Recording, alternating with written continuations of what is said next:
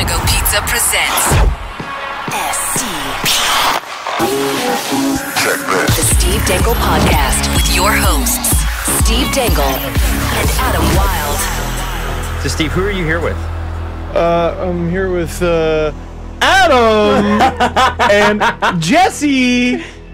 We got on Jordans. what are we gonna do today? We're gonna like get it. that was a really good start to the show. It was, I I thought so. That, that was a very good start to the. No, wait, no, No, we sorry, can't. Sorry, we can't. can't. No, We're gonna have did you stop. enjoy that? Did you all enjoy that? Yeah. that's a shame because we got to review it. I need I need confirmation that the show started. Uh, because it's heaven forbid we have a good time doing what we before do. we get to that, no, would you like to hear some good news? uh, sure. Before we get to the goal, Yeah, before we get to the not golden goal. no, the goal. Emily, goal. Emily Munson. Emily Munson. You might not remember that name, but Emily Munson uh, DM'd me on Instagram and she said, Hey, Adam, today I, I was at a job interview and one of the questions was the podcasts I listened to. Uh, the interview was with a digital marketing ag- agency. So I listened, so I mentioned I listened to a hockey pro- podcast. The interviewer said which one, and I said the SDP. He asked me to describe it, so I told him it was three Canadians, one who yells about the Maple Leafs while his two friends watch and occasionally chime in. I hope I get the job. Peace and blessings from New York. Here's how stupid I am. I was about to go, Adam. You've already told us that story. Right. You're, you're Yes. following up on it, aren't right. you? Okay. So I get a message this morning at 7:32 a.m. in all caps. I got the job. There you go. Oh wait, no, she gets a call back. Uh, your Oh, job sorry, is under review. sorry, we need to make sure you didn't interfere. I just thought No. it was kind of cool that we've co- crossed the thre- threshold of put them on your resume and you might get a job in digital marketing. I, I feel like it might have gone. Hmm. She answered the question. I'm certainly not going to research that. And, they she just did- gave her the job. She answered the question and didn't say cereal. what? What do you mean? Like mean? what podcast do you listen to? It's like cereal. Oh, Adam, oh, I was thinking Adam. cereal. Oh, wait, do you know people what? not listen to I'm gonna anymore? this. I'm gonna. okay, I clearly need it because that's my He second ch- flub He chugged he chugged coffee, but it's not done. well, I don't. I, don't want to go too crazy. I mean, I thought I thought to chug you were supposed to finish it. What are you doing? Yeah. Fine, I'll what did, finish what did you never go to university? All right, everyone listening. Steve is chugging coffee. Gulp harder. Gulp harder so we can hear it. Come on, this is radio. Ugh. There. Oh Was God. it ninety percent milk? Is that why you're able to No, chug it's it? just uh, I bought it in Scarborough, so it's not hot anymore. They make Cool, bad well- coffee in Scarborough. When I'm bouncing off the walls in five minutes, it'll be your fault. All right, so um, don't know what to make of this. before we get to the goal, let's just be You know honest. you signed up for it. Just let's just be honest. what? Arizona deserved to win that game. Yep. One thousand percent, they deserve to win that game. The Leafs Yep. did not play well, despite. Listen, I'm the one that loves the advanced stats, and I know Stephen Burtch was going. Well, wait a second, they won on the power play. They deserved it. They deserved it all the I way. love Burtch, but uh, wait a second. Has anyone taken into account and then just hieroglyphics? Has anyone taken into account what uh, I don't know some pharaoh said three thousand years ago about the Leafs? Stephen Burtch could recreate the uh, the pyramids if he felt like it, but he doesn't. He'd rather analyze the Leafs. And I think Pyramids are actually good. pyramids are actually good. Yes. that's good. No, and you know what? He might be right. They did win the game on the power play, but the fact of the matter is, they, the Leafs kept taking stupid penalties, Yeah, which no- led to the power plays. Here's the problem, and, and a lot of people were freaking out about the loss, and oh, their first loss in seven games, and oh, are we really going to freak out about that? The reason you can freak out about this loss is because this loss looked identical to every game of the Leafs for the last three weeks. They got outshot to bloody hell in the first 10 minutes. They ended up redeeming redeeming themselves somewhat, but still ended up getting outshot on the game. Mm-hmm. And they took more penalties than their opponents while allowing themselves to get bailed out by Freddie. What is different? What is different? This 4 1 loss to the Coyotes was identical to their 6 0 win over Montreal. That's what's concerning. It's there. There are waves. There. There are. I, I, uh, I don't know what I'm going for. What the word is, but a little. Are you seeing a pattern here? Yes, but what I'm saying is that Cyclical? that- oh, it's definitely cyclical. But there are little bounces here and there. You can catch a team. Uh-huh. The, the Leafs caught Montreal. Okay, they they. I'm trying to And remember. Montreal's not very good. No, and they're not. They're very good. lacking depth. Who got I mean, the first goal? I'm trying to remember. Wasn't it on the power play? Yesterday? No, against Montreal. Oh, against Montreal. Uh, Trying to remember now, because Kadri got that first one. Yeah. Yep. Ah, whatever. Doesn't matter.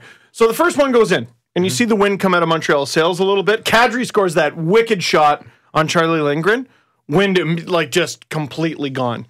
They didn't even show up for the third period. It was pathetic. And Connor Brown scores early. There was a scoring chance before that. On all in the first Saturday, 30 seconds. Hainsey scored first. Ah, that's right. Ron Hainsey puts one on from the point and it squeaks through.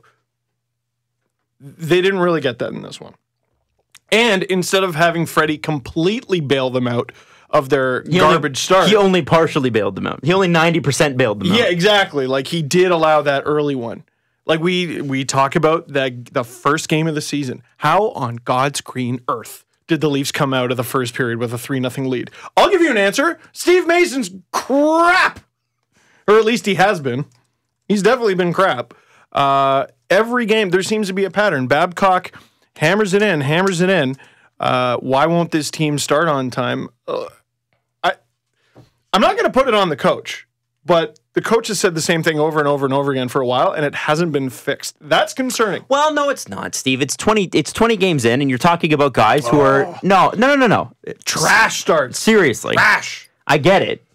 But and and I think Justin Bourne tweeted this perfectly last night. Yes. He said Babcock's challenge is getting a bunch of kids to get up for a bad team. And I'm sorry, Coyotes fans can admit that They know. they know they know what's up. what I- and I, I think that that's the problem is that you this is part of the growth experience Mm-hmm. is is taking every game seriously. You can't expect um, Auston Matthews, William Nylander, Mitch Marner, Connor Brown et al. to be a grizzled Mike Babcock brain at 19 or 20 or 21 as much as you'd like to name one. Name one person who's like that. And i don't think i've found i don't think i've seen players or people more driven than athletes at that age. And yet Oh, they yeah. still have growth to, so i feel like this is a maturity thing as much as it's a they didn't show up thing. Well i think the two are linked. It's a maturity thing. It's get up for every game because those two points those two points, man, down the road, they're going to matter. They're going to matter. I mean, the two two points was the difference between the Leafs making and not making the playoffs last year. The Leafs had a hot start to the year, and now they find themselves in the exact same position uh, as they found themselves in uh, after their hot start.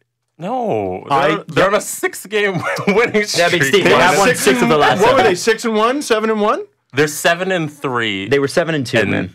And uh, They're, I think they were seven and two before they were seven and three. well, they're seven and three. T- uh, like after last night's loss. Yeah, I mean, listen, they're six and zero previous. No, How no, they but lost Here's what I'm talking about. Here's Okay. what I'm talking about. So they started incredibly hot, Okay. took some games for granted, Yeah. and then their schedule got hard.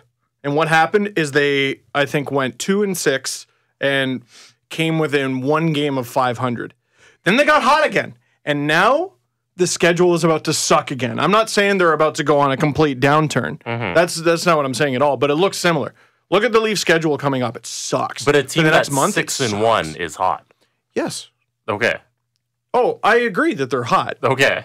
I agree that they're hot, but they've been in this position before already in this season. 22 games in, 21? Mm-hmm. yeah, but you can't expect them every seven games to go six and one. No. No, no, I know that. I know that. What I'm saying is they've already taken a hot streak for granted once this year. Okay, let me throw this out there. If the Leafs were in the Western Heading into Conference, a heading into a trash schedule. Leafs are currently third in the Eastern Conference. If the Leafs Sure. were in Not the, good enough. if the Leafs were in the Western Conference, they would be in second. Wow. Okay. I think there are probably 26 teams who would gladly trade records with Oh, them. So let's keep that in perspective. what's Is crazy? it a good start to the season for the Leafs? Yes. Yes. 14 and 8.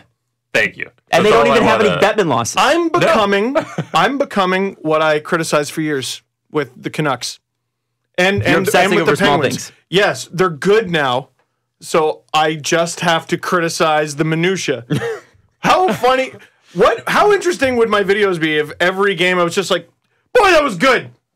That was good. Or if after every loss I'm like, but their record.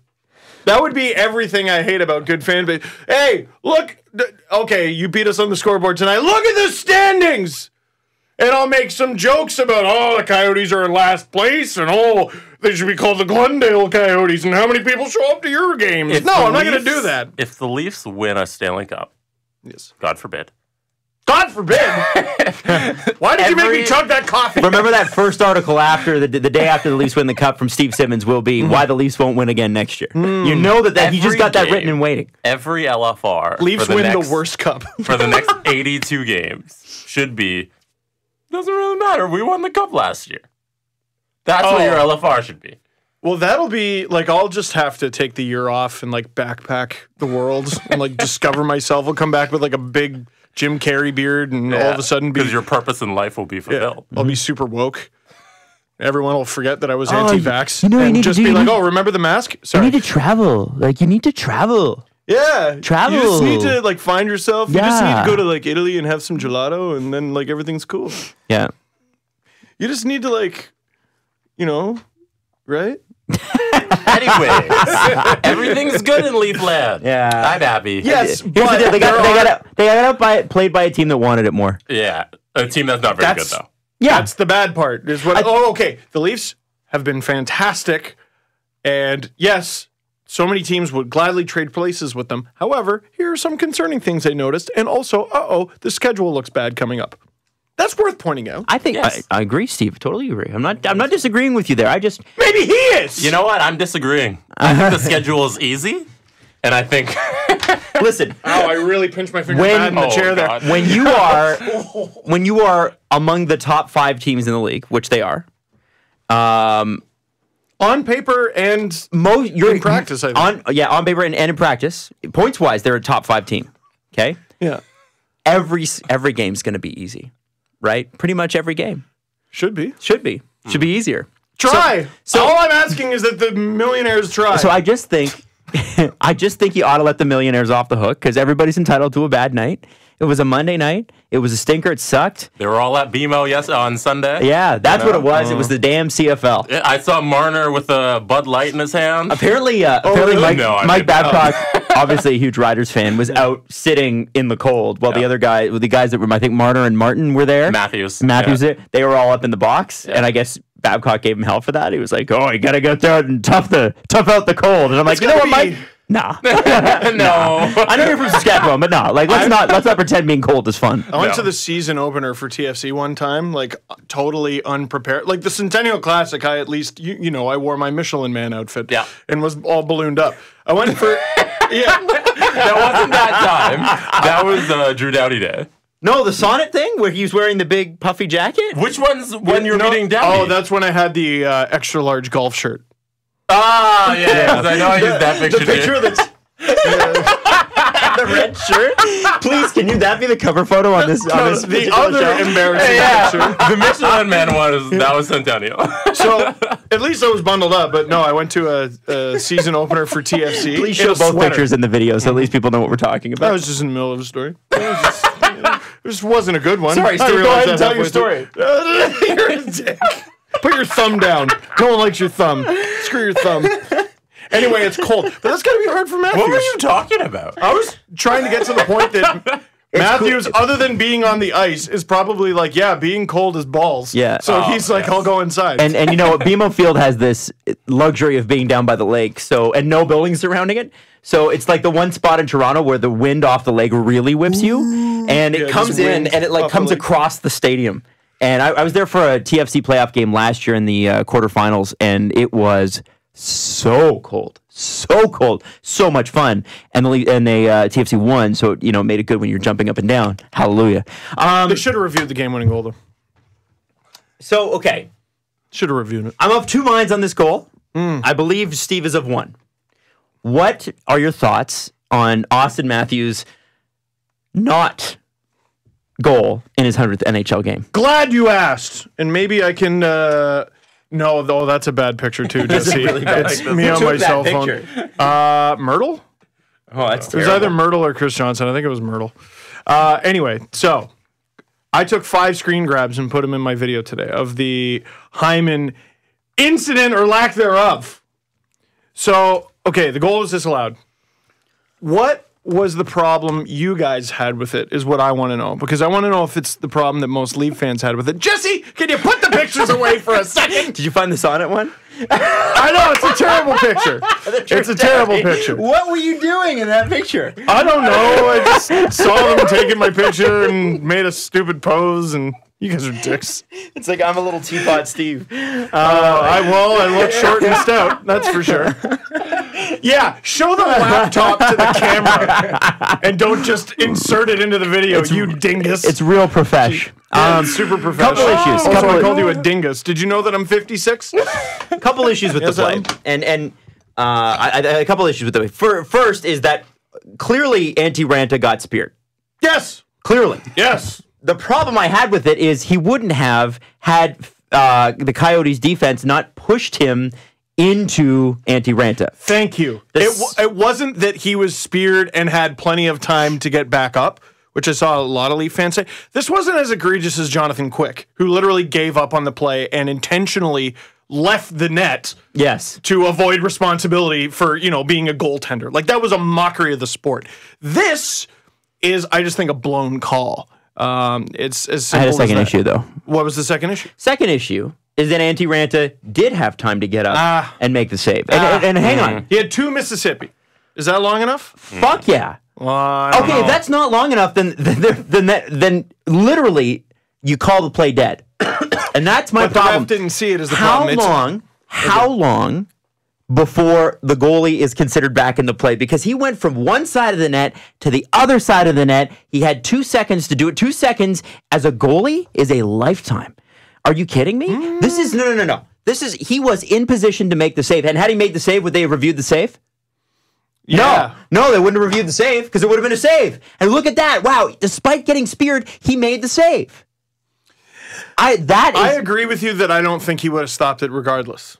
no, I don't think I think I think he did get set, um, but that wasn't the problem I had with the play. Because because people went, okay, would you look at it this way if it was Freddie? And I can't honestly say that I would.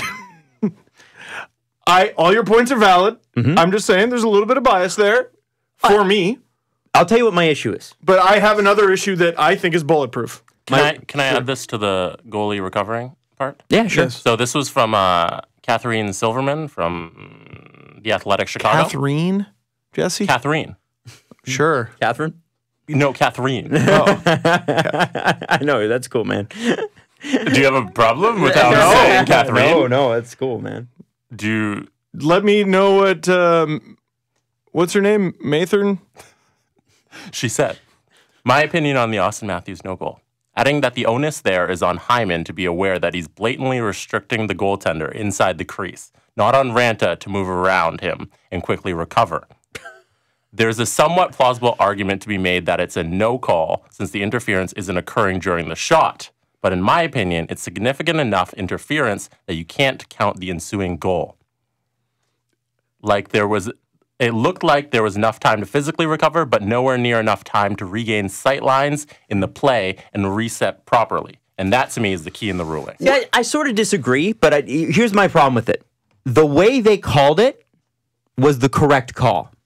My issue is how it's called. My issue is with the rule. My issue is with the gray area.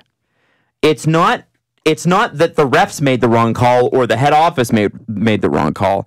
It's the fact that if that happened to any team, if you're if you're a Rangers fan and this happens to you, if you're a, a Panthers fans and this happened to you, you're going to feel totally boned by this. Yeah, because it's not uh, it, blow the play dead or don't. That's just- the thing. Because how long? How long should the Leafs have had to dipsy doodle around with the puck before? Okay, now Antti Rant is back and good now. See, this is the thing, though. The Like if he gets interfered see it. with, if he gets interfered with, should he not put up his hand and go, "I was interfered with"? And Well- then and then blow the call dead? Because But then what if they don't call it and then continue you're the still play. that's, that's a slippery slope. See, I don't want them to do that because then you're going to get what I think is probably going to be a growing trend. Forget players diving and Yeah. and the Kadri shoulder check. Goalies are going to be flopping all over the place. Don't make an attempt to save it. Why would you? Why would you? If you got bumped in the least, take the fall, act hurt, get indignant every time. Every single time, because if that is what's going to get called, with all due respect to Catherine, uh, I think we've Catherine. with all due respect to Catherine, uh, we've talked many times. Uh, I disagree with her assessment. Okay, so I took five screen grabs, put them in my video. So, uh, and maybe you can put them into this. I don't know. Christian Fischer is pushing on Zach Hyman, who is breaking, not in the crease. Oliver Ekman-Larsson is backing up into the crease. Antti Raanta is just doing his thing. I have no problem with him. Oliver Ekman-Larsson's ass hits Hyman's stick while Fischer is still pushing him. Ekman-Larsson, why won't it continue? Ekman-Larsson continues advancing backwards. Fischer continues advancing forwards. Hyman is still breaking, still not in the crease. Now his stick is pointed at Raanta. Now that Ekman-Larsson has completely backed into him, Fischer is pushing him forward. And then the last one is where the stick finally makes contact. And Hyman is in the middle of a Coyotes defender sandwich. So the call on the ice was this was a goal. Then they reviewed it and found there was goaltender interference, which means they saw that and thought there was enough evidence to overturn the on ice call. I, I just don't get it. I don't get it. What is Hyman supposed to do? What's Hyman supposed to do? You know, not be there in front of the net at all. I think they should just every all the shots should come from the perimeter. We should go to the NBA. Three points. I don't know. I don't know. I- like you, it's- you, it's- they, they will not call goaltender interference if it's found that a defender completely pushed a player into the goalie. What about the player's equipment? What about the stick? Because that's what happened here. That's what happened here. This wasn't a case of Fischer or Ekman-Larsson bumping Hyman completely into Raanta, but they moved his stick to a place where it wasn't going, which resulted in Raanta getting poked. That, that wasn't Hyman's fault. But in the way that they currently call the rule, would you agree that How do they currently call the rule? the way they have been calling it, I'm not surprised. I'm not surprised, but it's wrong. Okay, then your issue is the same as mine, which Yeah. is Yeah. it's not it's not what they called last night. It's the rule itself that needs clarification, that needs gray area. There's a reason why That's they terrible. didn't attach a penalty to goaltender interference, inter, interference viewing calls because there's so much gray area that they didn't want to. The, the general managers were like, "Well, we don't want to attach a penalty to those kind of challenges because that could be bad." I, I also wanted to see Babcock be a dick. I when when the Coyotes scored the three one empty netter, you should have reviewed it for offside. Just take the penalty. Like who cares? Just review it for offside. Waste their time. No, good. It's because I'm sick of this shit. This is terrible. Can I watch my sport? Can I watch it? When JVR scored the 1 1 goal, which is long before this incident happened, the first thing I did was look at the ref. It wasn't celebrate because if there is a your team jersey in front of the other team's net and your team scores, there's no point celebrating. Mm-hmm. Why? It might be a waste of energy. Matthews with the yeah, that great moment. Fuck that. That's gone. Like that's gone. This is what There's I'm talking. There's no point celebrating until the puck is dropped at center ice. Someone said to me on Twitter. is- They're absolutely right. This is why I'm, and I've said this before. Why did you make me chug that? I've said this before and I'll say it again. I think we have to allow for human error in these situations. If your entire focus is getting the call right all the time, then forget those moments. Forget them. And and and, and I mean that. This It- league sucks. Can we just talk about how the NHL sucks? I would prefer not to. Ugh. We do, we do talk about that. I mean, Okay, so if the rule's not right, then what's the right rule? I think it's The clarification. fucking guy. I think. I think they I need a think the rule's correct. They just enforced it wrong. The Coyotes players pushed their opponent's equipment into their goaltender. What's Hyman supposed But to do right about now, that? Steve, that's what they're calling. They're Yeah. calling no matter who made contact, Oh, that's or no matter shit. how they. That's shit. I agree. I don't think that's the rule though. Because you've I've seen refs multiple times be like, oh, okay, well the guy came in contact with the goalie, but he was shoved in. Because refs, I'll give them the credit, they have common sense. They have some common sense. I wish they would have used some here. Hyman stick was not going into Raanta until it was planted into Raanta. I'm just not I'm not a fan of the way they're calling it right now. I think that they based on the history that I've seen in the first quarter of the season, I'm not surprised they made that call. I don't neither. agree with the call. I don't agree with the way the rule is called. That's my point. You can't listen, I can't, I can't change the rule. I can disagree with the way the rules Yeah, done, I'm though. shocked that it was a goal on the ice and they looked at that and went significant evidence to overturn. Absolutely not. I'm to read Rule 69 from the NHL rulebook. It's not a nice, rule. Is it Not a actually nice Rule 69? Under Rule 69, um, goaltender interference is a penalty in ice hockey where a player is found in the goal crease when a goalie is establishing his position in the same area. Under Rule 69, this was, will result in a minor penalty to the offending player. So I guess that's not the one on a goal. No, If that's goal is so scored- Hyman got a penalty earlier in the season where he crashed the net Mm-hmm. and entered the crease and just completely bowled over the goalie. That's legit. Mm-hmm. I think he got in like an offensive zone penalty on the penalty kill, which I remember lambasting because how the hell do you do that? I would I would love to know their their reasoning for this. Why can't we interview refs after the game? No, Why? you can't do that. Why? You don't want people knowing the refs and stoning them and getting on Twitter and ranting about the refs. Oh my God! Send a tweet. Send something. Explain this shit. Or it, you're just gonna have unhappy fans. If it has happened many times, many times on the show and in videos where I've been mad and seen an explanation and gone, you know what? You're right. Well, that's why I miss Brendan Shanahan's videos. Oh, How great were those, right? did they do one for Tkachuk yet? no, I don't think they're good. Did uh, they do they do videos anymore? They just magically, mystically gave they- him a game. Do they do them anymore? I don't know. I don't think so. If they do, uh, they don't in a long publicize them. Oh, I mean, I mean, it's not like the NHL is known for its transparency. Let's be straight about that. No, it's a great league. It's a great league. Always keeps their fans informed and happy. Have you checked out their website? It's great. It tells you everything you want to know. Hey, do you want to know who the leading scorers are by weight? They got you covered. Piece of crap. Did Hyman impair the goalkeeper's ability to move freely within his crease or defend his goal? I think his defenders made Hyman do that. so Not by the therefore, result no. of his own It has to be. To me, it should be by the result of his own actions. Okay, so that's where That's my issue with the. there's. But that's why they're specific calling it the way they're calling it, right? Yeah, because yeah, it you're is right. not clear on whether it is his own fault. Mm-hmm. It's just if a defender impairs the goalkeeper's ability to move freely, it's goal interference. if if you can like I'm not even saying 100% for certain that Hyman didn't like I don't know, sort of intentionally, oops a daisy do it, accidentally interfere, but to watch that replay and say definitively without a shadow of a doubt there's enough evidence there to overturn the call on the ice. I that's shocking. I don't get it. I don't get it. That's terrible. It should have counted. Um, on on the issue of what the hell's going on here, Hmm. uh, Brian Lawton, who is a, uh, an analyst, uh, former NHL player as well. Former agent, I think. Yep, he's he's kind of done it all. I don't understand why every trade rumor he tweets about is objectively not true. And whenever he does, you get guys like Bob McKenzie and Elliotte Friedman coming out and going, "Yeah, no, that's that's not what we've heard." And those are the guys that are consistently correct. So yesterday or the day before, I think it was, Brian Lawton tweeted about the Leafs being interested in OEL, Oliver Ekman-Larsson, and William Nylander going the other way. Now, uh, why the Leafs would do that, why the Coyotes would do that, I'm not sure. I'm gonna go with why the Coyotes would do that. Yeah, I don't. I love William Nylander, but uh, I don't know who could have watched last night and not been like, "Yeah, I'll take OEL." Holy shit, he's good. He's amazing. oh, he's But- great. That's that's always. I, I don't understand what Holy smoke! I'm, I don't, I don't even want to talk about the trade right rumor because it's not a rumor. I don't understand what the point of tweeting something like that is. When clearly, We're like, talking about it. how bad is your no, well, but how bad is your source, or do you have a source? Like, what's going on there? This is not the first time he's done this. What were the What was the exact wording? I'll look it up. Okay, because I, I need to know. Was he reporting it as a rumor? He wasn't joking like Howard Berger. Okay.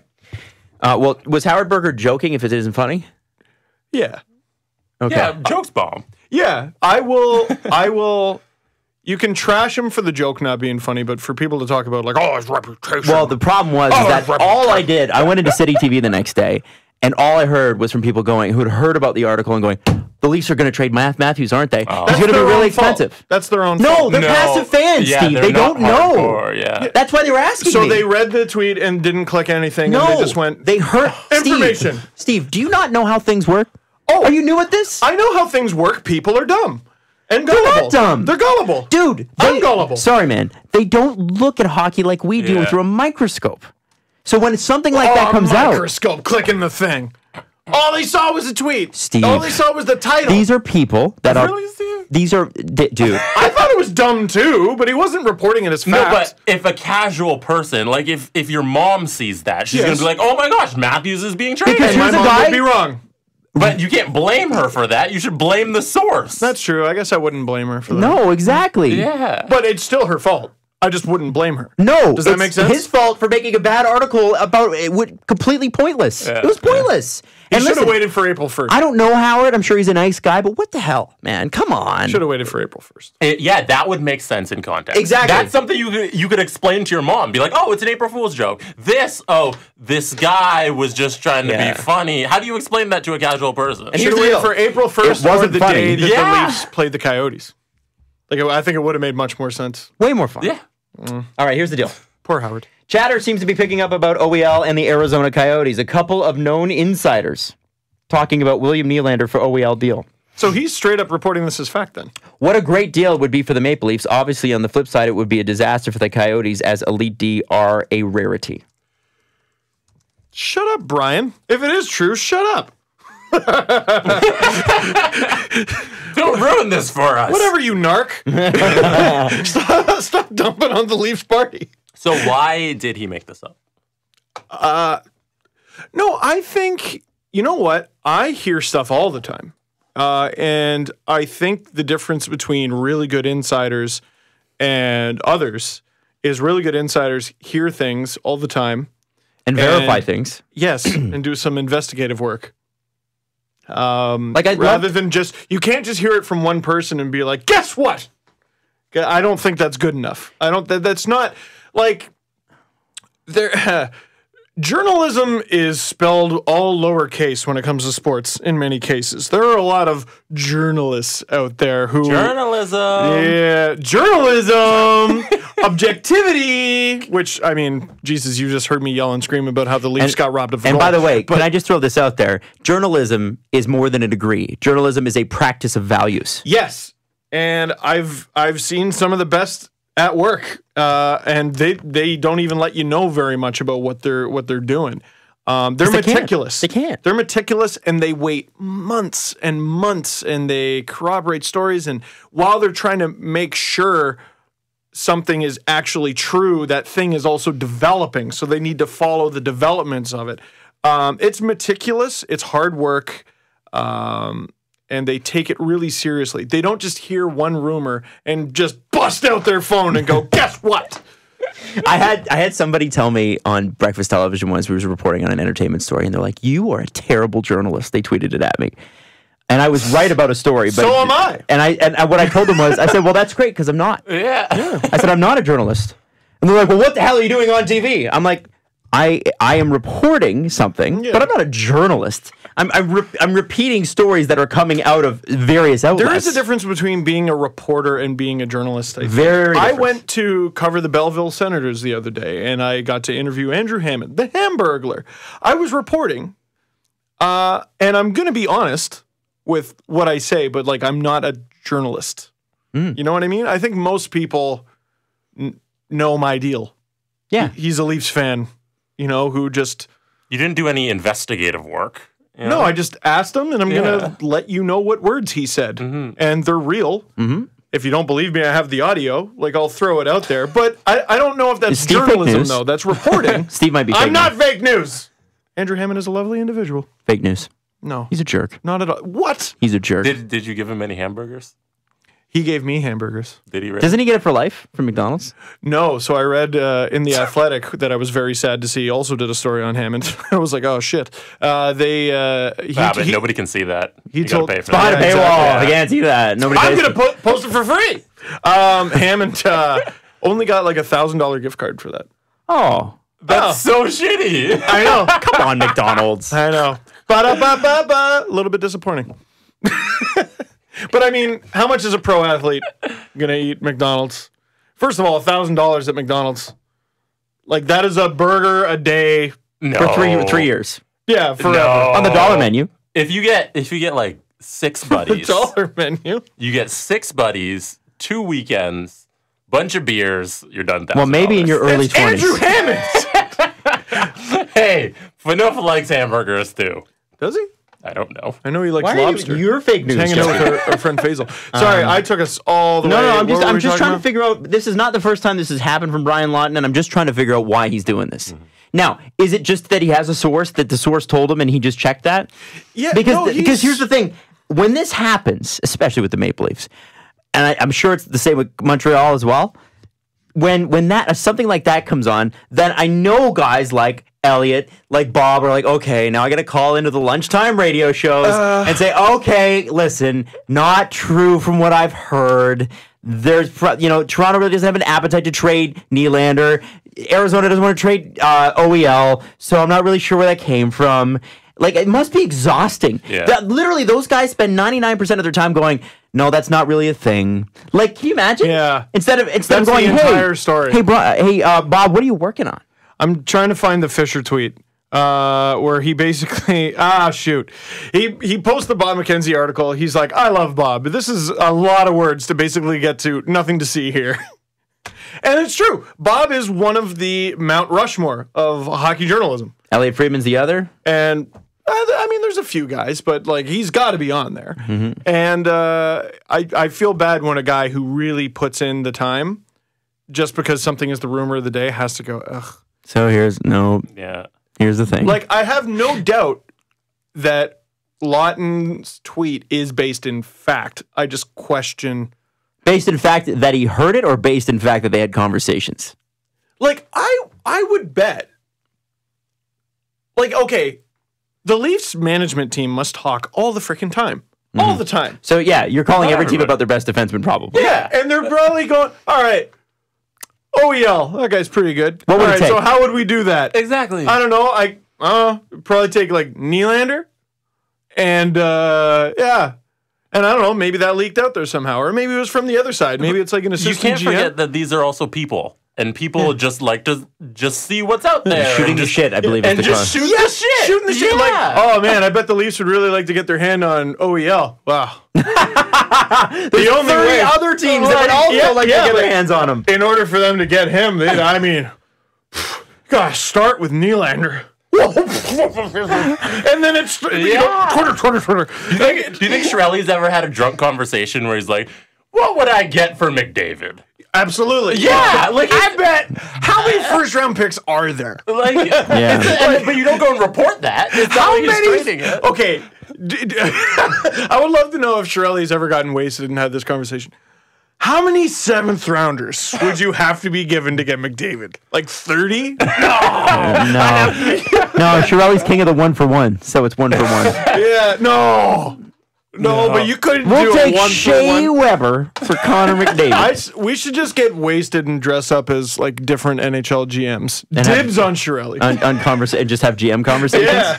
I'll trade you. But if you gave like 50 second round picks, I'd do that. Okay. Uh, yeah, for the next 50 years, For the next get 50 years, you get um, your second round pick. Nashville second round pick. McDavid's gone. I'm I'll give him. you Mitch Marner for Connor McDavid. And Was that not enough? All right, I'll give you Super Saiyan Mitch Marner for Connor McDavid. there's a, there's a question. There's a legitimate question. Is Super Saiyan Mitch Marner worth one Connor Super McDavid? Saiyan anybody is worth more than anybody. No, you're Super crazy. Saiyan Super Alex- Saiyan Zach Super Ronaldo is Saiyan not worth Alex Connor McDavid. Is worth more not. than Matthews. For- no, absolutely Yes, not. That's yes. ridiculous. He's Super Saiyan. No. He's the It's not an argument. He's Super Saiyan. Are we drunk? Sound it. Probably. Both of you. All right, so listen, again, not that I don't want to demonize Brian Lawton. I just want to figure out what the hell's going on with Boy, him. did I get a lot of messages going, I don't like this Dragon Ball Z crap, and boy, did it not deter me from doing it one bit. Um, it kind of made me want to do it more. one thing that we do know, Yes. and that we're fairly clear on, is that the Oilers are looking for things. Oh, In the last couple weeks, we've heard Should be a GM. we heard we've heard the wing, we've heard another center, we've heard defense, goaltending. he used to be GM of the Bruins. Screw that guy. Um, so I guess there are uh, there are rumors that Ryan Murray might be on his way out of Columbus. For Nuge. that Eric Johnson might be on his way to the Oilers. What, Jack Johnson. Jack Johnson. Sorry. Uh, what's the deal, Steve? they, Because uh, Oilers Twitter is a Twitter. what's the deal? Uh, Chiarelli's phone should be melting with incoming calls right now uh, because that is a panicky Pete of a GM right now who is seems pretty hell bent on selling low on everything. Uh, loves one for ones. Uh, the two teams in the Western Conference that do not yet have 20 points are the Oilers and Coyotes. Oh, gosh. If the Coyotes win the next two games and the Oilers don't, the Coyotes will surpass them. Coyotes are three points behind them. Is it panic time? Might do, you be. hit, do you hit the panic button now? The gap between the Oilers and the Canucks, who are the team just above them, is Seven points. Five. Uh, five. Five. Five points. Seven Math. points. Math is hard. Math, math is hard. trades are also hard. Um, wow, that's gross, man. The gap between St. Louis and Edmonton is 15 points. So okay, And we are 20 games in. That's a big deal, 20 Yeah. games in. The the rumor from well, uh, uh, American Thanksgiving is what in a This couple week. days, so it's almost not too early. it's almost not too early, and the Leafs play them twice coming up. Uh, look, the the rumor from Dreger that sent Oilers Twitter just into a complete tizzy was uh, Oilers are looking for a defenseman. Well, hasn't the thing everyone's been complaining about all season been that their forwards aren't good enough and they don't have enough speed up front? So are you going to take away from that? Like, are you going to trade a Nuge to get that defenseman? Taylor Hall would look real nice. Oh my God, Eberle. Uh, oh. Not Yakupov, though. And it's not like uh, I, the one thing I'm glad Oilers fans haven't really done that much this season is blame the whole thing on not having Andrej Sekera. Andrej Sekera is a very good defenseman. Andrej Sekera is not so good that not having him sinks your entire season and makes you one of the bottom five teams in the league. Maybe Chiarelli, who has pretty much constructed this Oilers team, Yeah. uh, has not done a good job. Like this is the the thing with like Bergevin and Chiarelli. I see as being two GMs in a similar position. You now need to get yourself out of the mess you created. You created. You can't complain about inheriting anything. You, you know what you inherited? Connor McFricking David, and you're botching it. That's right. You weren't even the GM. I don't was did they hire him in time to draft Connor McDavid or was it Craig MacTavish that drafted him? Wasn't it the same? Because Craig MacTavish won the lottery and was like, "Yay!" I think and he then they won got the rid of him. lottery and then, then got, got like fired. fired the next Yeah. week. Oh, yeah. And then Peter Chiarelli had to make the just biggest Fisher Price slam dunk of his life. like just ah, just full grown adult male on a on a child's basketball net drafting Connor McDavid. And then I think he signed Lucic.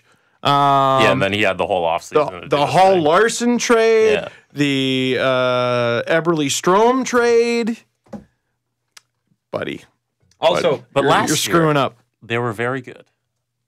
Yeah, They all were. it took was like a Vezina nominee goalie. And Often it does. sometimes you get that. And that's how your team is good. Yeah, but that's that's. I mean, the not Kings good. snuck into the playoffs and won their first cup with a Vezina nominee goalie. Yeah. They, the- Jonathan Quick, they rode him to the Yes, finals. but it, Stephen Burtch posted hieroglyphics that said he wasn't. no, that I think Stephen Burtch would agree with that. No, I know. Uh, but Love okay, you, Stephen. Here's here's what's funny. I would never have expected, and I don't think anybody would have, that the 2015 Oilers and 2015 Sabres would be as bad as they are now in 2017. No, oh my God, no. Oilers are in second last in the West. Sabres are in dead last in the East. It's- dead last. Jack Eichel is on the third line. Yeah, which is dumb Crazy. because he's easily their best player. And then I love that Phil Housley came out. He's like, "Oh, he's a great player. Does a lot of great things." Blah blah blah. I'm like, "Come on, Phil." You know what happened 46 days before he was on the third line? They gave him $80 million. Ah, So, well, ball's in their court now. yeah. right? I mean, he gave up his cards as soon as he signed the contract. That is, um, We're talking about three teams right now who aren't good, and it's their own fault. this is why I, I'm I'm hesitant because I've said before I don't think the Leafs defense is talented enough to compete at that level. It doesn't mean that they won't get there, as I said, Carrick had a bad game, but you don't, and and they're going to have bad games. of course. It's not their strength. But the great thing about the NHL is that often teams win because they play to their strengths, not because they have your EA Sports NHL team, which has the best of literally everybody. What is the Oilers' strength? uh, which should be goal scoring. It Why? should be and speed because their best player is the fastest player and the probably the best player on the planet. And their second best player has the same characteristics. Yeah, Two guys. It's not enough. Jordan Eberle would have been a great compliment to that, I think. Um, Not enough. you know who I would have traded before Eberle because you can. Ryan Nugent Hopkins. Not because not because here's the deal. You you you have a guy like that, and I know this is rewinding and this is pointless now, Sure. but you've got your top two centers, right? Unless you want to play the two of them together. But Draisaitl and McDavid should be one and two. You can go out and you could get a, a, a decent center. You could have got Brian Boyle this summer. You could have got anybody. Could have got Tyler Bozak. Nick Bonino. could have got Tyler Bozak in a trade. I, I would Um, like to know from Oilers fans, like, because you know it's hard to follow every team this closely. Has Draisaitl been playing mostly wing or center? I think he's been playing with McDavid, hasn't he? See if they just put him at center and let him develop there. Like even if there's some growing pains, then you got a one, two, three of McDavid, Draisaitl, Nuge. No one's touching. I you. just my, my thing is here's just an interesting point. If if you're the Oilers this summer, this last summer, and you're looking to unload six unload six million dollars, which they were with Eberle, instead of trading for a guy who's less good but also less expensive, why not move Nuge for a guy like Gouch? Or Nuge for a guy like I don't know if I like Duchene? that. Nuge is good enough Or- for a gouch trade. really? Oh, well, Ooh, I don't know about that. Especially because what is he making? Seven point five million. Nuge No, six. six? Six. Six Six. flat. They both were. Um, or like you know, or a Duchene. Why were they not in on a Duchene or something like? That? You know what I mean? maybe they tried. Maybe they did. I don't know. It just seemed it seemed weird at the time that you that's your return. That's weird to me. Or when Jonathan Drouin was available, why didn't they make a harder push for, ha- The, for the that? Oilers right now are the kid whose parents gave him an apple for snack, uh, trying to negotiate their way into Dunkaroos, and it's just not working. it's not. Uh, believe me, Could they I land? tried a it. Could they land a fruit roll up? Ooh, James Neal is available, maybe, and it's going to maybe. cost them their 2018 first round pick. That's my goal. Whoa. James Neal. James Neal will be an Oiler by, By the the end of the way, season. no. Mm-mm. The the Vegas Golden Knights are going to be the team of the year. Uh, in that they'll doing easily be the most fascinating. They're doing great. They're doing so great that how do they screw this up? No, it's the NHL though. they Might find a way. They might find a way, but they're really Greater teams have failed. greater. Yep. But oh, believe me, I've seen it. But this team is on pace for having to try to miss the playoffs. And I don't know if any GM, you're George McPhee, you had the entire hockey world by the cojones. And now in your first season, by the you have an cojones. by the cojones, and now you By have an the opportunity. Despacito. okay. By the testiclitos. And right now, you have an opportunity to have your name on, oh, yeah, everybody talking crap about the team I built. Guess what? Playoffs, idiot. He's Because I'm the- George McPhee. Make fun of my Filip Forsberg trade now. I just got an expansion team to the playoffs. I don't know if any GM has the strength to hold themselves back from that. How do they sell? He built a bad team. Bullshit. Look at the standings. That's how George Mc- uh, McPhee looks at it. As he should. As he should. But Belmar is clearly a five or six million dollar star. like, dude, legacy Vesna, Legacy. Sorry, I mean he's got the most wins in franchise history. I should remember the name. they still have Marc Andre Fleury coming back. That's unbelievable. And they're yeah, They're gonna get better. yeah, and they're gonna dumb. sell. They're gonna sell their leading scorer. And then make the ah. playoffs. Yeah, maybe not. Ah. Maybe you're right. Unless it, it netted you. Maybe. Maybe. maybe maybe they get Puljujarvi. Who has a 30 goal season that starts in February? Does he win GM of the year?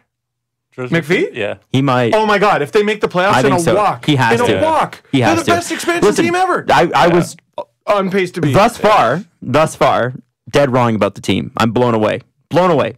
We'll see what happens. They're an But on expansion team on their fourth goalie.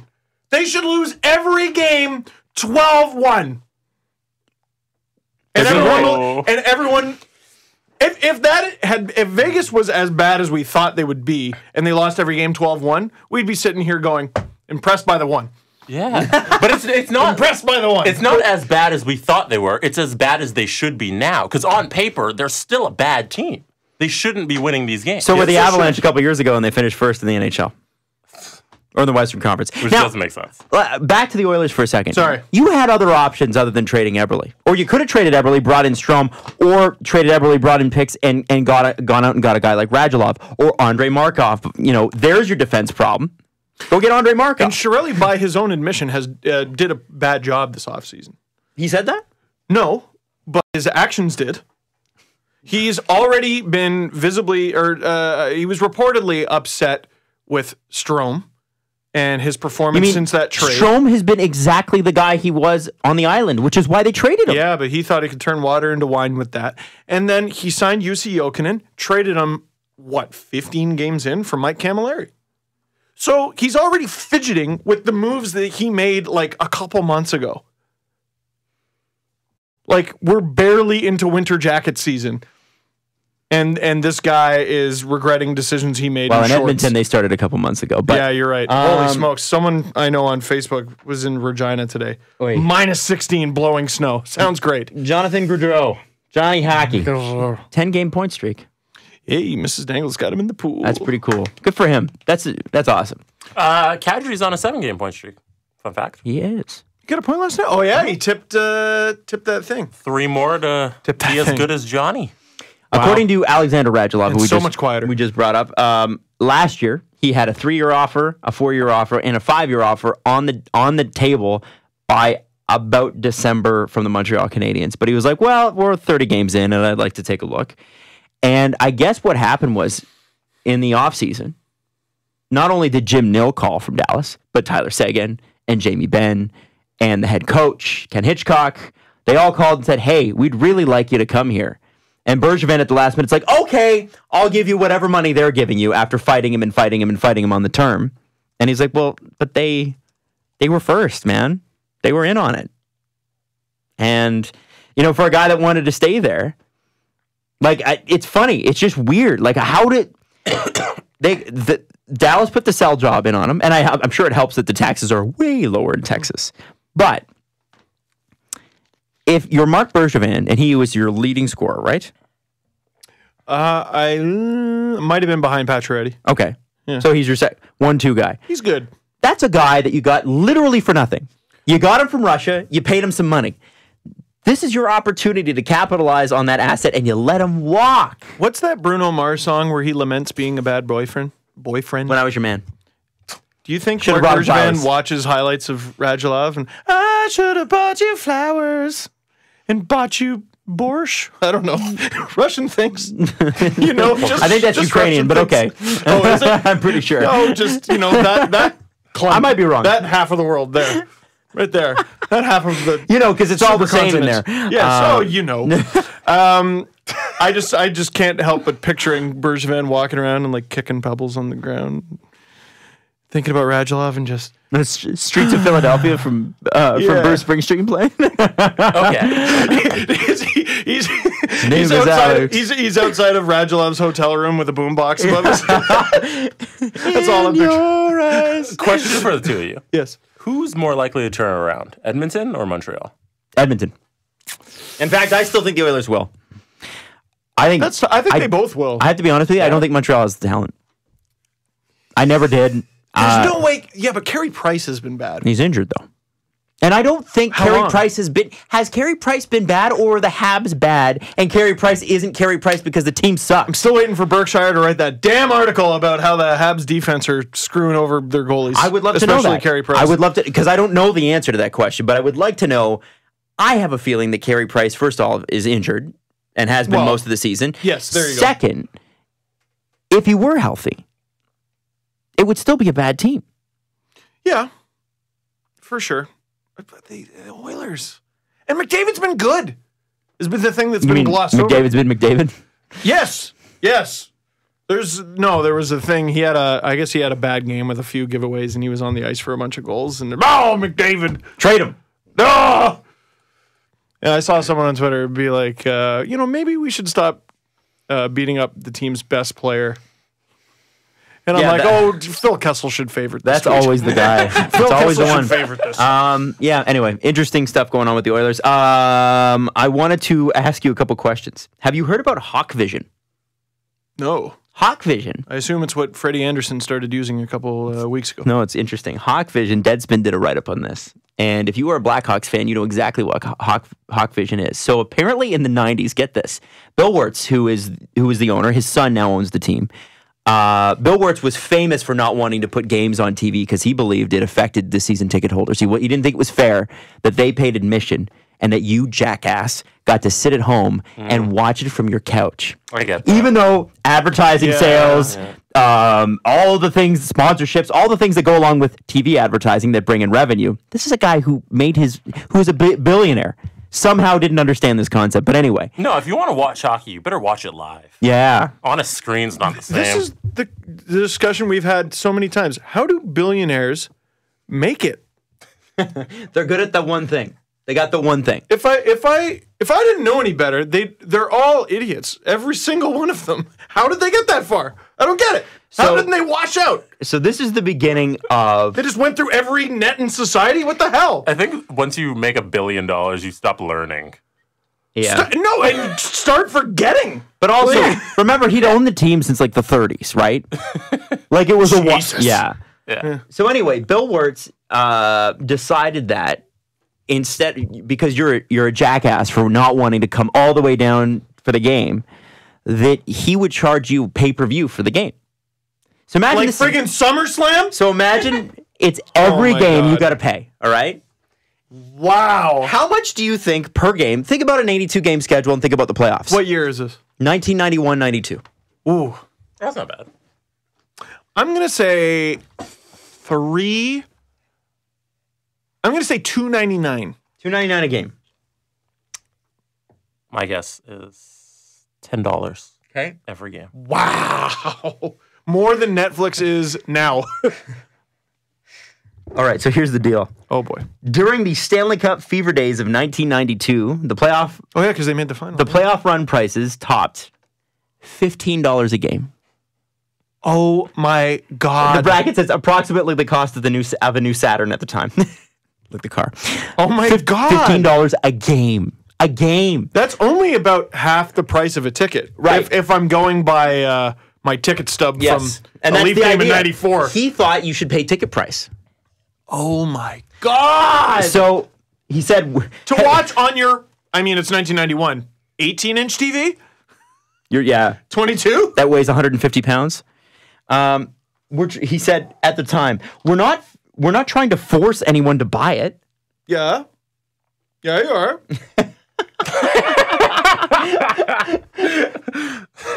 yeah. The, the the writer of this blog is hilarious. There, the team claimed there were 20,000 Hawk Vision subscribers. What? In return for an investment of about $50, they got a standard broadcast of a hockey game for the playoff run. So I guess in the uh, Which means you only have 20,000 people watching Words every kept, game. Wirtz kept Hawk Vision going beyond the 1992 Stanley Cup playoff run, offering to sell access to regular season home games for the next two seasons at an unbelievable hindsight price of $29.99 a month. That's an inflation adjusted $53 to watch one team.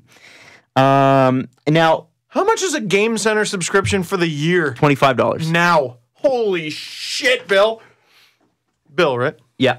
Or is that Now, a kid? remember at the time, the the the uh, the team had Balfour, Chelios, Roenick, Steve Larmer, Steve Smith, Gary Amonte. Suter, yeah, Joe Joe Murphy, um, Tony Amonte, Brent Sutter, and later on, later on, he said, I guess the the Hawks front office used to say, don't. He used to tell the Hawks front office, um, Stanley Cups cost too much money, so he'd sell. He'd just sell.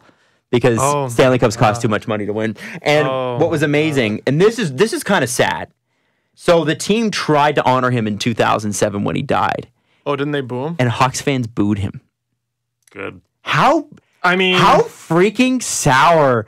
Like how terrible do you have to be to die, and people are still like, "Yeah, man, fuck you." He's a I'd love to know what people did uh, when Howard, um, not what's his name, Harold, Harold Ballard. Ballard. died. I think they were probably pretty respectful. They shouldn't have been. Harold Ballard almost sold Frank Mahovlich over a poker game when he was drunk in 1962. he was. And by the way, that happens today. With the conversations we were having earlier oh. about GMs going, you know what? That happens today. I saw. I was. I was going to at one point. I found a Harold Ballard interview on the CBC archives, and I was going to bring it to the show. Was it? The dumb check one. Uh, no, it's uh, not oh, the, he's a dumb check. Not the dumb check one. It's the there's a female host on the CBC. God forbid, in the oh. late 70s and Oh goodness. and he's Congrats to talking. her, holy he's talking to Dick Irvin, who is Dick Irvin and this and this female host, and I forget her name. Forgive me, because it was a year ago that I found this. And, Forty years ago that it happened. yeah, um, and she is trying to talk to him and has a very good humor about dealing with Harold Ballard. And he's and Harold Ballard is completely ignoring her and going, "Can you please shut that woman up so I can speak to so I can have a conversation with this man?" Holy shit. and he's just the worst. And I and I, I, I am surprised in this city. We kind of look back on that era and we go, we go, oh well, that was just that time. Ah, Wendell no, Clark, Wendell Clark, Wendell Clark. this Wendell guy, Clark. this guy was a gigantic asshole. He was and the he's owner of the Leafs embarrassing. in our lifetime. Yeah, it's embarrassing. It's embarrassing. Jesus. It's terrible. Now, the I know. I'm glad that Rogers now owns part of Rogers- the Maple Leafs. Part, You know? yes. Yes, Part. Rogers and Lawrence Tanenbaum. Yes. Good old Larry. Lawrence, who I uh, did I did I mention that I drunkenly tried to say hi to him at a playoff game? No, why? He was. Wait, what? If I have any more than two drinks in me, I don't talk to him. I was people. drunk. At, uh, I was drunk at game three. Uh, last year? Yeah, and uh, he was walking by. Not game three of the season, game three of the playoffs. Yeah, yeah. and he was walking by with his, season. with his scarf, and uh, I just tapped him on the shoulder as he was walking Oh, by. you touched I, him? yeah, I went. You do a great job.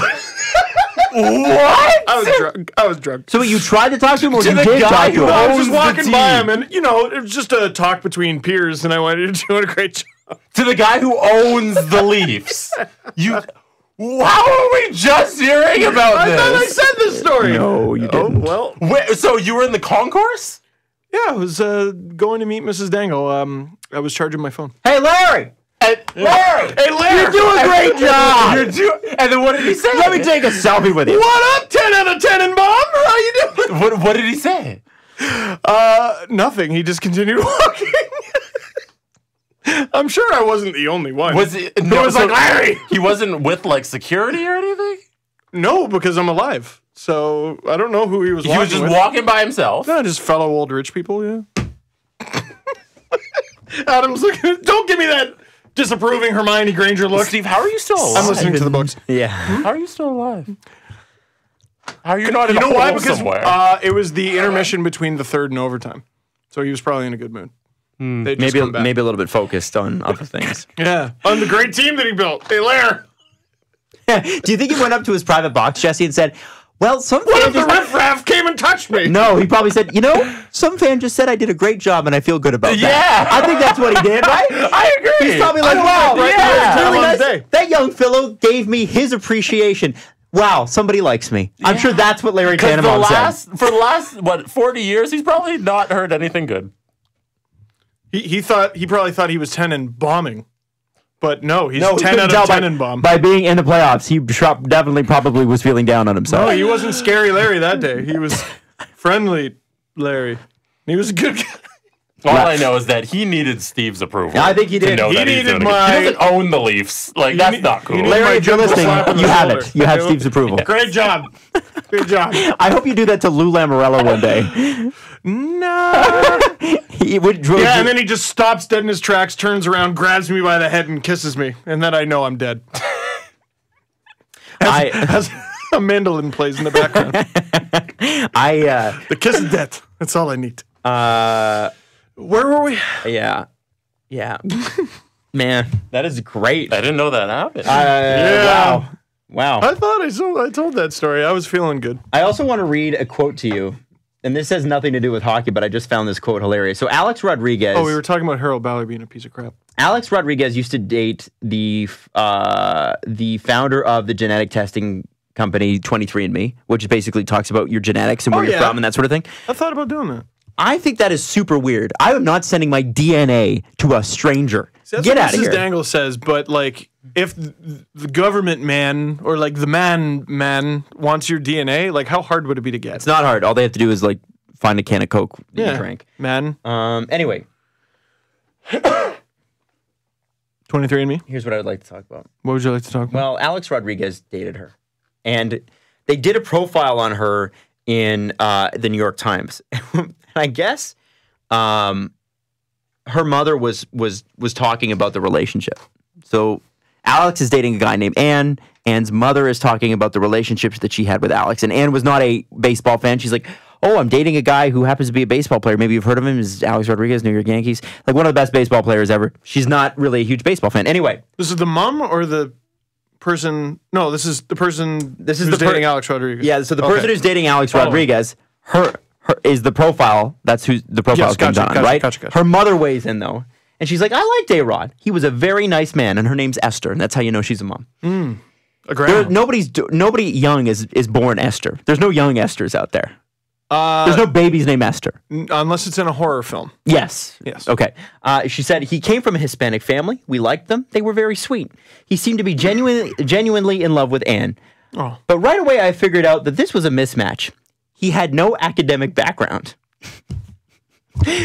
we couldn't have an intellectual conversation about anything. His main interest in life was something that none of us had ever focused on, which is baseball. He could park himself in front of a TV and watch baseball 10 hours a day. He wasn't even sure he wanted to go on the yacht with Anne because the TV might not be working. I wish JLo all the luck in the world. Yeah, J Lo. Good luck with that. You know, you know when you make over three hundred million dollars in a career, And it's not good enough? and, and and you can't go on someone's yacht and have an intellectual conversation. Yeah, Those but- are real problems. But Adam, that just I don't know. Is that dumb or noble? You know, because we can't connect, and isn't that what love is that is about? what it's about. But that was her mother saying that. It wasn't her. Oh, that's right. I know he's very successful, but isn't he boring? oh my goodness. I just thought that com- it was.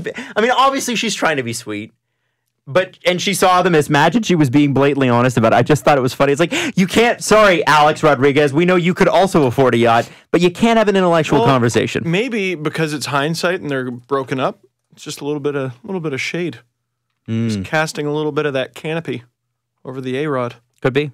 Could be. I think someone's upset that her daughter didn't marry A Rod. Yes. My Yeah, but like she doesn't need A Rod. No, She definitely does not need a Rod. No, I think she's richer than a Rod. She founded a company that's like, here are your genes. Yeah, Like, seven that's thousand nuts. times over, she's richer than. Actually, I think she founded something else too. I'm going to look her name up. I feel like she did something else. Um, uh, that was really amazing. She used she's to quite- own the Blackhawks, she's and pretty- she charged fifteen dollars a game to watch it on your friggin' the TV that's now in your parents' kitchen. It used to Oh. be in the living room. Oh, she was also married to Sergey Brin, who you might know as the founder of Google. Oh, okay. Hmm. Uh, her I- sister, I don't use So then, Google. then maybe her standards are correct. I don't use Google. Yeah, I, I maybe. prefer Dogpile myself. So her mom was an educator. Her dad was a physics professor, uh, the top physics professor at Stanford University. Um, her sister is Susan, and she's the Susan Susan B. Susan Wojcicki. I think it's how you say it. It's Polish. CEO of YouTube and former executive Google. See, And her sister Janet is an anthropologist and an epidemiologist at the University of California, San Francisco. But you got to be smart to survive in that family. Sister-in-law because she was married to the dude from Google. Hmm. Sister-in-law because No, no, no, no, no. It's her direct sister who is is now. It's okay. So it's Anne Wojcicki. I think that's how you say Woj- Wojcicki. I think so. Anne Wojcicki, founder of 23andMe. Her sister is the CEO of YouTube, and her other sister is an anthropologist and an epidemiologist at uh, University she of, of California, San Francisco. One of the founders Right. of Google, Yeah. and her s- Sis- direct sister is the CEO of YouTube. Which I think is they Google. would- That listen. sounds like some No, guys, I don't think that's the case. No, no, no. I think that there is. She was. I think that there was something with that that is, is different. I, I think there's a story behind that. and Called Wikipedia is not showing me. yada yada yada. They're all rich geniuses. Yeah. Like Larry, ten out of ten in Bob. How you doing, Larry? They don't need scum like A Rod, that baseball playing athlete. Mm. Imagine, imagine being an athlete and being the coolest guy in the room your whole life, and then a bunch of nerds say, "Sorry, you can't hang with us on our yacht." It's the nerd dream, isn't it? Yeah. That's like, Hello, world's most impressive jock. Not enough.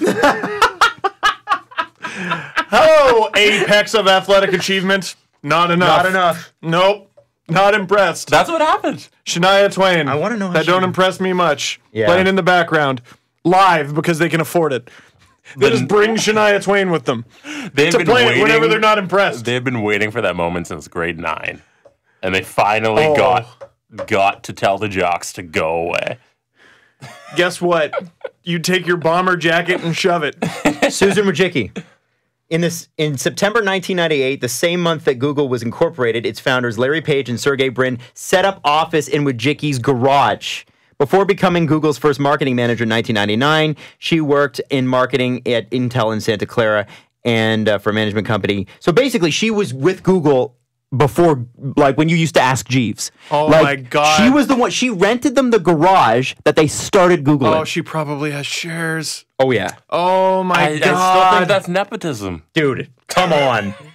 You're gonna piss off so many people. I, he doesn't mean it. is it um, nepotism or is it just smart, darling? Huh.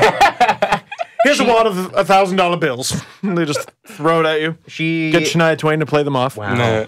Uh, yeah, this is her career is pretty freaking amazing. Both this family, like you know, certain families are like, why is every there's not one problem child? There's not one kid in this family that went wrong. Like the, the that this family. Uh, but she only has her masters. They, uh, you have to develop an accent like Severus Snape. Did I mention I'm listening to Harry Potter? Have you think seen the episode where um, Token brings in all the rich families, all the, the, Yes, the- all yes. the black families, and the Will Smith kids? They're like, "Daddy, But Daddy, Daddy. it's twenty million dollars. Even after taxes, Daddy, it's twelve million dollars. you have to do the script, Daddy." That's what I, that reminds me of. We're going to play polo, Daddy. This is the most YouTube thing to happen ever. So I got to show you this too. So to get verified on YouTube, you need over 100,000 subscribers. Ah! So Susan Wojcicki, if I'm saying that name wrong, I apologize, created a YouTube channel uh, earlier this year. And she's like, my first video and then advice from creators. And the video is centered around a series of clips from content creators on YouTube giving advice to Susan on how to create a great YouTube channel. Um, she has only 29,000 subscribers and she's verified. And I guess YouTubers got mad at that. she's the CEO. I just find that so funny. It's such a I do! That is the most YouTube thing to get upset about. I here's some fake drama. I'm gonna make a 15 minute video about it walking around my house doing laundry. Like who cares? And She's some the EDM CEO. music will what? play in the If I have one subscriber and I'm the CEO of YouTube, you better believe I'm gonna have a verification If check you mark combine my it. subscribers with hers, it adds up to just over hundred thousand. So I think we should merge channels, and I agree. also I should get shares. But at 1998, prorated Yeah, shares, so that way you can be a part of the growth and have Damn millions it. of dollars, billions of dollars. I don't even anyway, play baseball. interesting stuff. I had no idea about any of this. This is really great. Wow. She was ranked number six on Forbes' list of the world's 100 most powerful women, Couldn't even crack the top five. and is currently number 41 on the Forbes list of Oh. America's self-made women, number 27 on Vanity Fair's new establishment of 2015, and was n- named number one on Adweek on the Adweek 50 list of 2013. Wow. Wow, she's only one on one of those. But A Rod, I can understand now. Just I, a there- pilot. the- if you want to have an intellectual conversation with a family like that, there's probably like two people in the world that can keep up with that family, right? Who? Maybe I don't Larry, even know who ten they'd out be. of Tanenbaum, and Tesla guy, Elon Musk. Tesla guy for sure. Elon Musk. Yeah. Anyway, Jesus. um, where were we? couple things I want to mention here. Um, so the the mail room. Did you bring the Babstocks? Damn it! Steve did No. not bring the website. So the mail room gave me some packages You were at my house. Ow! that are over a year old because they lost them. oh, really? So we have some something from Elliott Honda from Honolulu, Hawaii. What? And it's I mean, there's what? food in here. However, oh no! it's chocolate, so it's probably oh turned white. no! No, it's still good. I don't know. Anyway, I thought I would It's just a little How do we- airborne. it's how do still you know good. it's It's still chocolate? good. because it says chocolate on the package. Oh, It's just a little airborne. Because you gotta, because if you ship something across borders, you gotta specify what it is. Does anyone have keys or something? Oh, I got my keys. Um, so anyway, wh- while I'm opening this, um, there's a couple other notices that we should read because Jesse, you open that. I'm gonna read. Uh, I'm gonna read some of these letters. oh, Oh, you also have to do a shout out, yes, Kenny. yes. go. Do you shut up? Oh, I'm supposed to do that. Well, let me. Oh, we do these. Uh, just bring it up on my phone. So we had Ken Reid and Dennis Maruk on recently, and uh, they were pumping uh, Dennis and Ken's new book, Dennis Maruk, the uh, unforgettable story of hockey's 60 goal man. and Ken wanted me to say something. Dangle, do you mind mentioning on the podcast this week that Dennis Maruk will be signing books at the Bottom Line Sports Bar, that's 22 Front Street West, from 4:30 to 7 before the Caps versus Leafs game. So whenever that is, I think I think that's Saturday night. Repeat that.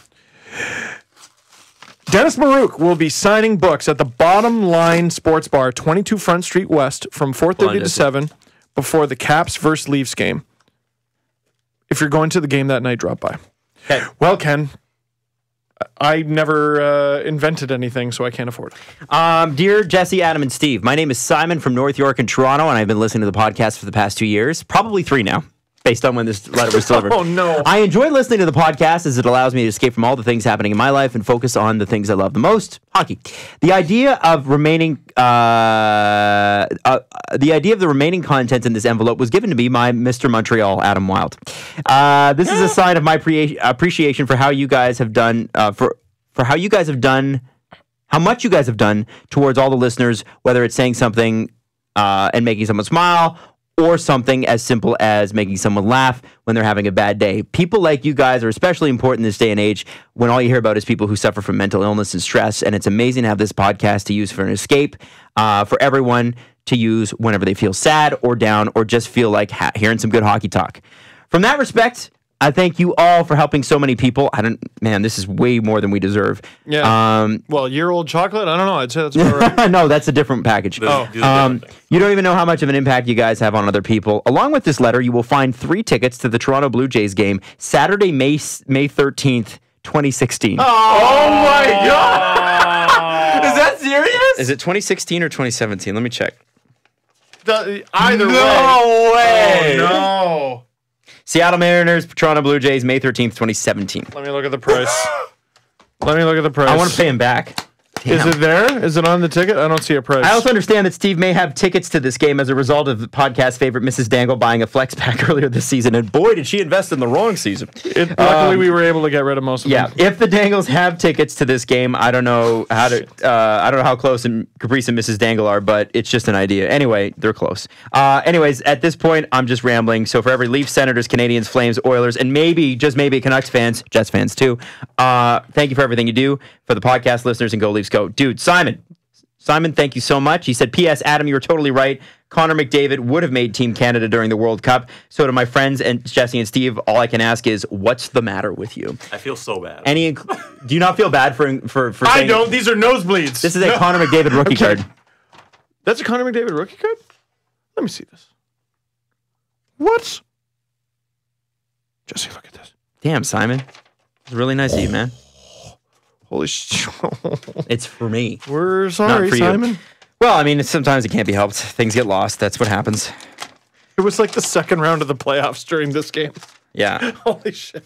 Um, We should find a way to get back to Simon. hey, Steve, Adam, and Jesse, I've enclosed my Leafs game pack for the three of you to sign. Because the Leafs are rivals to the Bruins, I don't have it in me Dear to Adam, want a Jesse, player's Steve, autograph. I wrote you, but you still ain't calling. The three of you have, without a doubt, the best hockey show on earth. Well, that is a stretch. Uh, thank you, Thoma. Uh, it's a shame you haven't been picked up on the radio, but I guess it's a good thing because fuck censorship. Uh, I'm a Bruins fan. I'm a Bruins fan from Wisconsin, surrounded by Hawks fans, obsessed with the Leafs podcast. Strange. I'm glad that you guys keep doing your show even during the off season. Keep up the great work and hold on to this letter if you like. Regards, Brian. Now you know how it feels to lose Phil Kessel. That was And a a while package. ago. And I don't know where's the the attached thing that Brian sent us. Uh, I apologize, Brian, but we would gladly send you something back. oh my God. Um, so that again, old letters. They, they I just got, you know, I got these packages, so I thought we should read them. Jesse, what's what do we got over there? Why do we suck? Oh my God, there's so much. Here, can I read this one? Is this? Yeah, of course you can. I just, I just It's a long one. Oh my God, there's so much probably expired stuff. Oh, method- What? Hawaiian okay, so candy. we got no. It's Hawaii Sun strawberry guava naturally favored uh, flavored pancake mix.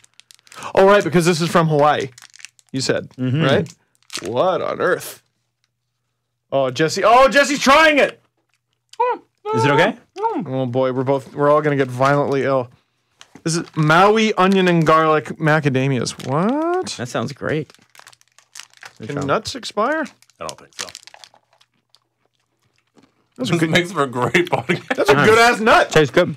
That's a good nut. Did you read the letter? Sorry. Um, the letter is a year in review letter, and it's it's his kid, and um, they finally settled and celebrated. Uh, it, it's not really signed by him, so it's basically one of those Christmas letters. And he got a Mario Lemieux bobblehead. Oh my God! That's for you, Steve. Oh, oh, okay. Oh, it's one of those. Uh, Oh, there's more. It says Phil on the bottom. From the Honda family. Santa Phil. So that's his Christmas card from last year. Santa Phil. Oh my God! Phil. Hey, Oh no, one of And he you gave you guys. a Mark Messier. Is there any other letters in there? no, that's. By the way, it looks like he had a great 2016. He had a baby. They settled and found a house. Four years of marriage. Ocean Army. These figures are made from uh, made in 1997. Wow. Holy smokes! I feel violently ill. Oh, pa- pancake mix. I feel violently ill. Pancake mix. Nice. Chocolate macadamia. Now, oh, Best Buy. Yeah, no, no, It's all this is no expired good. yeah, no. Oh, that was really nice. You can take that. Coffee's probably Yeah, it's probably fine for Jesse to take. There you go. No, no, I already offered it to you. I don't want it. I'm good. oh crap! But I so I'm feel bad, like you know. So anyway, if you've sent us a note and we haven't got back, Oh, sometimes we're just stuff the does get lost in the mail, and this is what happens. So Wait, is this open? What's what's That's this clip for? let's let's do the press conference. This is terrible radio, guys. Come on, Is it? come on. I don't care about the. Put it down. The presser. SD. They weren't First expired question. when he I said them. know. Oh my god. When Martin plays with Matthews and Marner, is Martin playing on the first line or is Matthews playing on the fourth line? Martin's playing on the first line. I'm gonna go with Matthews is playing on the fourth line because that line consisted of two guys who have had regularly played on the fourth line at some point this season, Marner and Martin. I want to know when Matthews is going to pick up his game. I think he's hit a wall. I think Matthews has hit a wall as well. Next question. Yeah, I don't know if I should be eating these. They're really good though. Jesse. Next, next. I think that's the only question. Are you serious? Yeah, I don't know if I should be eating these. Anyway, if you I'm send gonna us a keep mail, doing it, if you though. send us a mail and it didn't reach us, I apologize. We always try to read the mail out. So, That's our only question for today. all right. Well, thank you so much for listening. We'll be back on Thursday. And when do the Leafs play this week? Tomorrow. tomorrow, Tomorrow. Yeah. and also, They play Saturday. tomorrow and then Saturday. All right. see, I don't want to barf in the car on the way home. It's my issue. So. I'm glad that we know that, Steve. I, I don't think that that was relevant to the conversation I'm we were glad I just didn't having. barf on Larry Tanenbaum's sleeve. That's probably good. Yeah, that actually probably worked out in your favor. I think this is the best ending to a show we've ever had. Pretty bad. Pretty bad. The best. Sorry that you waited this long to hear this garbage. It's, it's okay though. the ending of the show is under. Podcast. Follow the guys on Twitter at Steve underscore Dangle, at Adam W Y L D E, and at Jesse Blake. The Steve Dangle Podcast. Brought to you by Panago Pizza. Order at panago.com and stuff your face with deliciousness.